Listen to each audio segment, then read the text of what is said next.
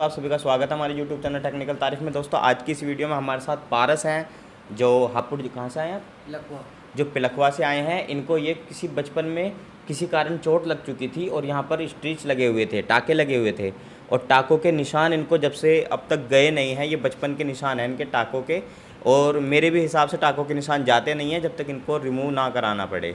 बहुत से लोगों को चले जाते हैं कभी कच्ची उम्र में उनको चोट लग जाती है। तो बहुत से लोगों को टाकों के निशान रह जाते हैं। तो दोस्तों, आज इस वीडियो में हम सी ओ टू लेज़र की मदद से इन टाकों को रिमूव करेंगे। एक बार में तो होंगे नहीं, लेकिन ये चार से पाँच सेशन में टाके के निशान सेवेंटी परसेंट रिमूव हो जाएँगे। तो चलिए दोस्तों, आज का फ़र्स्ट सेशन हम इनको करते हैं और टाकों के निशान इनको रिमूव करने की कोशिश करते हैं।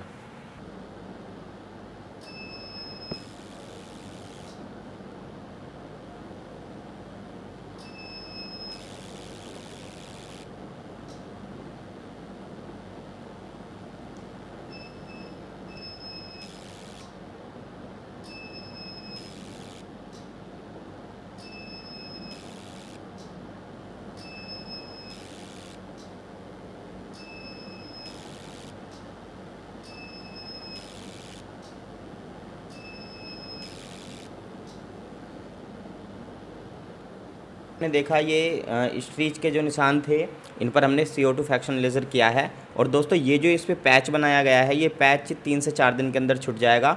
और छुटने के बाद जो नीचे जो स्ट्रीच के निशान हैं, वो ऊपर की तरफ़ उभरते नज़र आएँगे। तो आशा करता हूँ दोस्तों, आपको हमारी ये वीडियो अच्छी लगी होगी। और इस वीडियो को लाइक कीजिए और हमारे चैनल को सब्सक्राइब कीजिए दोस्तों।